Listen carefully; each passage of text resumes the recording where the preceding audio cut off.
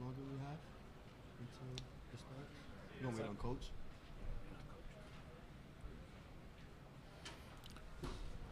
Okay, once again, a reminder that K-State locker room is also open. Uh, will remain open until 10:17.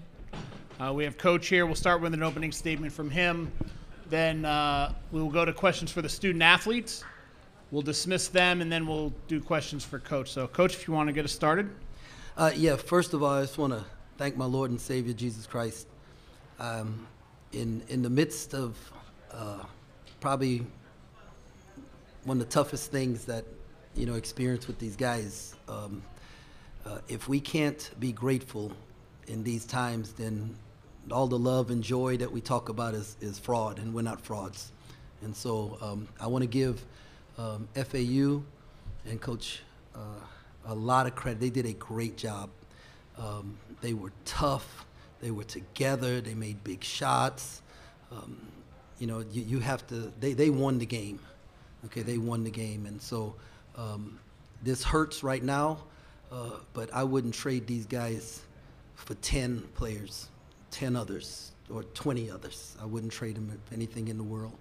And so, so, so very thankful for the, the fun and the ride that we've had this year. We have senior guard Markquis Nowell. We have junior forward Nae'Qwan Tomlin.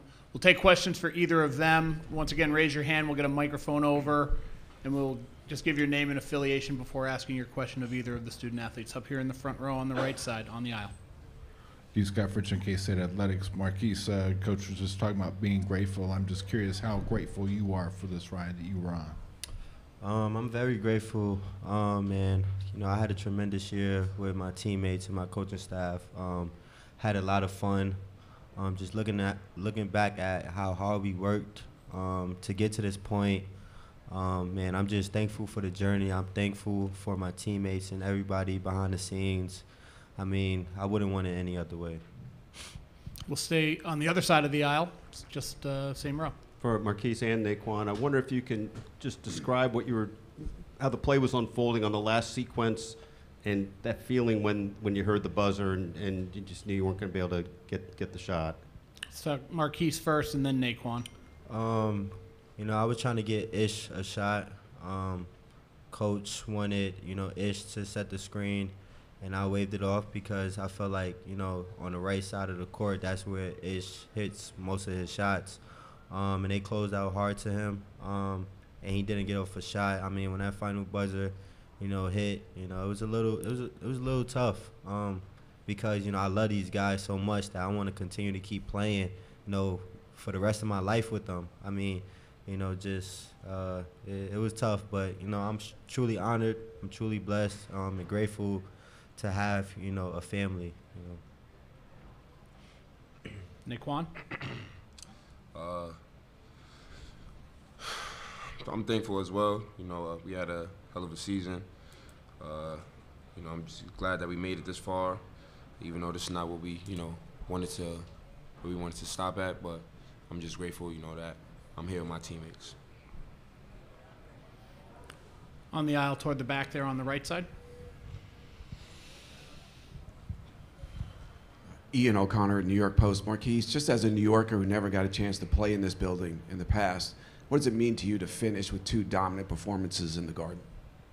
Um, I'm just, you know, I'm happy and grateful that I got the opportunity to play in Madison Square. Um, I always dreamed of something like this, um, just playing here, being here, you know, uh, playing my heart out. You know, I feel like I gave my heart and soul to this game for these past couple games um, because I wanted to see these guys, you know, win and smile and know what the standard is for winning. Um, we have a, a younger group of guys that we have in that locker room, and the standard is hard to win. I mean, winning isn't easy, um, and to see that, you know, we, we made a deep tournament run uh, with that with that uh, young core group. Um, I'm just excited to see, you know, where they come um, years ahead. But you know, it's just a blessing, man. Um, I gave my heart and soul to this university, to this team. Um, I, I maximized everything I had, you know, inside of me to to see these guys happy. We'll come back up front on the other side, Vahe. Markquis, when you hit that three, you banked it in to make it 63-57. Uh, Did you have some sense like, okay, things are just going to fall for us? I mean, obviously, it wasn't like you thought that was it. I don't mean that, but did you have some sense like, you know, w- we're, we're rolling the way we want to roll into the last eight nine minutes? Yeah, I feel like uh, we we that shot, you know, gave us a little momentum, but I don't feel like we got you know the defensive stops that we really needed. I don't feel like we got key rebounds that we really needed, and give a lot of credit to FAU for getting every single 50-50 ball. I mean, there there was guys diving on the floor, jumping out of bounds, um, crashing on a on a free throw. You know, so you know, give a lot of credit to them. Um, I'm sure they're happy, um, and I wish them much success. We'll do two more for the student athletes. We'll start here on the end. Go ahead. Hey guys, sorry things didn't go your way tonight. Jeff Maglicetti with SI.com, all Knicks. Uh, when a guy like Keyontae Johnson has to sit out the final 12 minutes of the half, it usually could spell doom for a team, but you guys kept things very manageable to a four or six point deficit by the end of the half. So, from a player's perspective, what worked for you guys during that period, and what allowed you to keep pace with the Owls during that time? Start with Nae'Qwan, and then we'll go to Markquis. Uh, I feel like you know we tried to you know uh, stay together and you know just try to keep uh, trying to trying to get stops and for me trying to make the right plays and uh, you know just trying to just really just trying to stay together you know and stay positive. Markquis. Uh, it's always tough when you know your your leading scorer is out um, with, with foul trouble. Um, but like Nae'Qwan said, we try to stay together. Uh, we try to get easy buckets. Um, and you know, I feel like in the first half we wasn't playing our game how we usually play our game. Um, and I kind of think that's where they got out in transition and got some easy buckets uh, because we we was a little flustered on the on the uh, offensive end, but no, they got every 50-50 ball. It didn't come down to anything else, but you know them playing harder, them wanting wanting it more. Um, so you gotta give a lot of credit to them. Go to the other side of the room, uh, standing toward the end of the aisle. Go ahead. Tom Marion with AP Radio for the players. Can you express the disappointment of coming so close to the Final Four but not getting there? Start with Nae'Qwan, and then Markquis. You can say no. You can say no. You can't express it.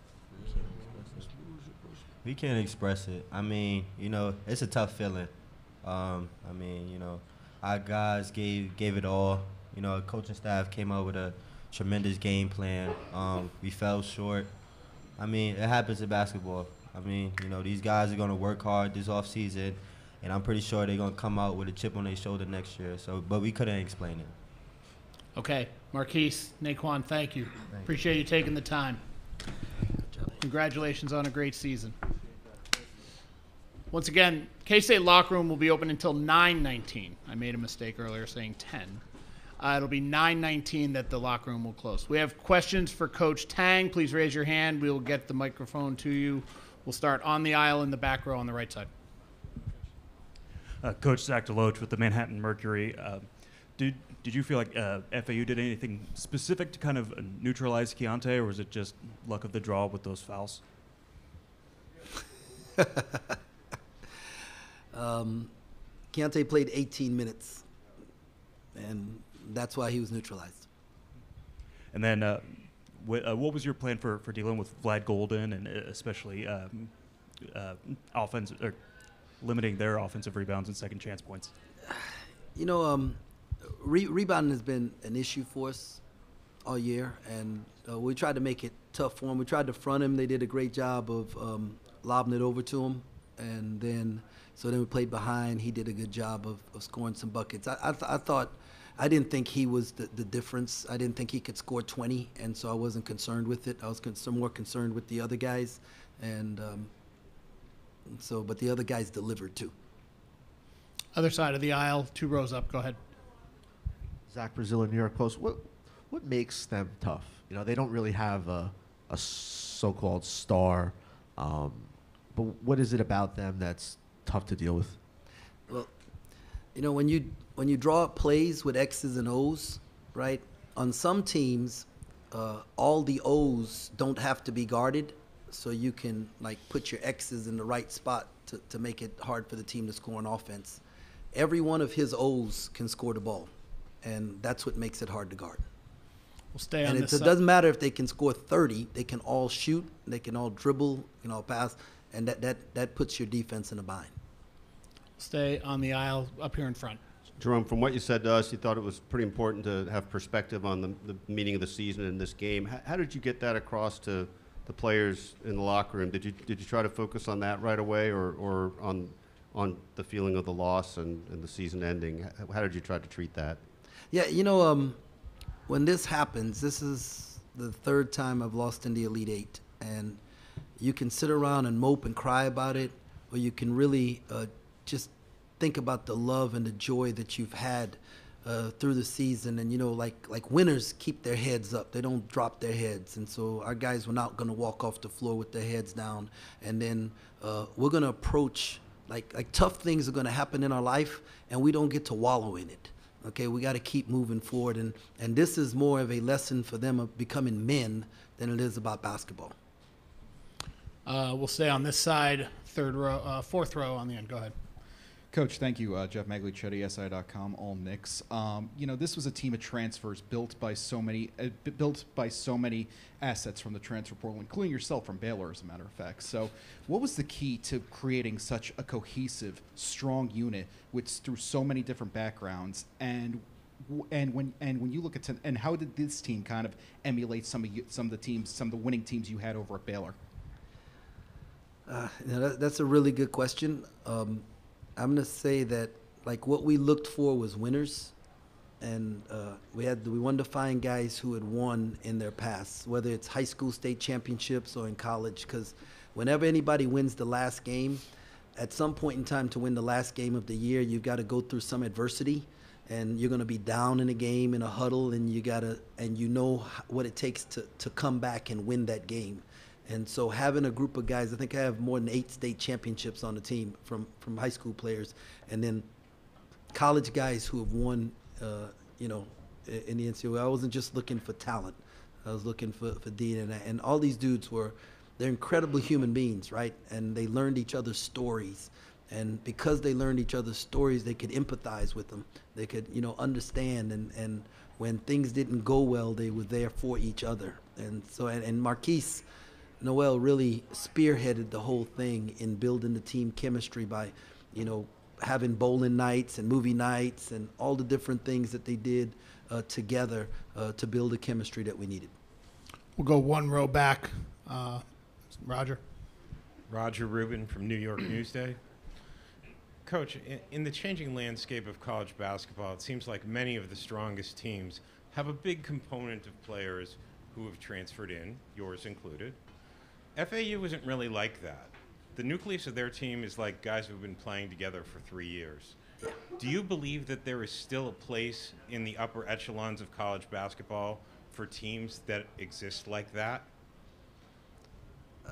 I, I definitely do. My good friend Paul Mills, who just took the Wichita State job, was at Oral Roberts, and his team won 30 games this year with guys who stayed. You got to have the right environment. When we was at Baylor, um, the national average in college was 43%. I think it's higher than that now. At Baylor, our, our, our average was 16%.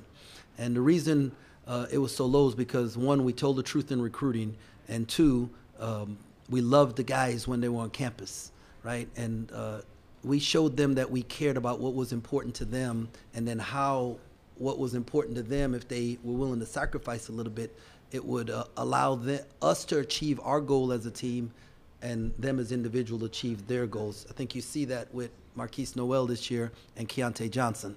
Okay, um, I think Quis is the best point guard in America. Should win the Naismith. I think uh, Keyontae, when he's allowed to play more than 18 minutes, is the best uh, wing in the country and should win the Naismith.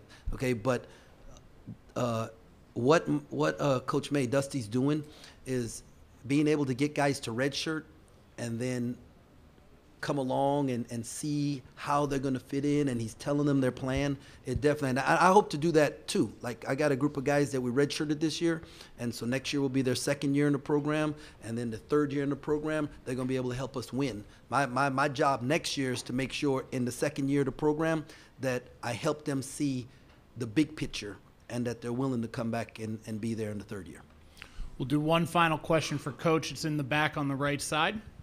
Go ahead, young man. Killian Johnson, Sports Illustrated Kids. Coach Tang, c- congrats on a great season.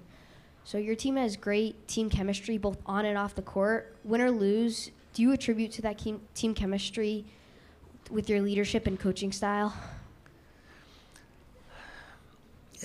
I, I attribute it to our staff and the environment that we have, the culture that we have within up and down the office. Like if you walked up and down the hallways of our office, like you would think we're having a party, right? Every day. There's a lot of laughing. There's a, a just just just a great time together, and I think our guys see that, and it, they learn more from what they see than what we say.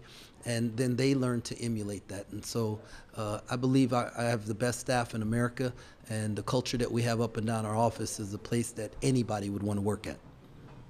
Thank Coach, you. Coach, we appreciate you taking the time. Congratulations on a Thank great you, guys. season.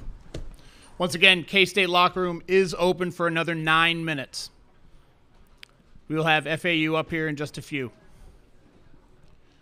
We have been given the East Regional All Tournament team. If you have not gotten that handout, East Regional All Tournament team AJ Hoggard from Michigan State, Markquis Nowell from Kansas State, Keyontae Johnson from Kansas State, Johnell Davis from FAU, and Vlad Goldin from FAU. The most outstanding player for the East Regional was Markquis Nowell of Kansas State.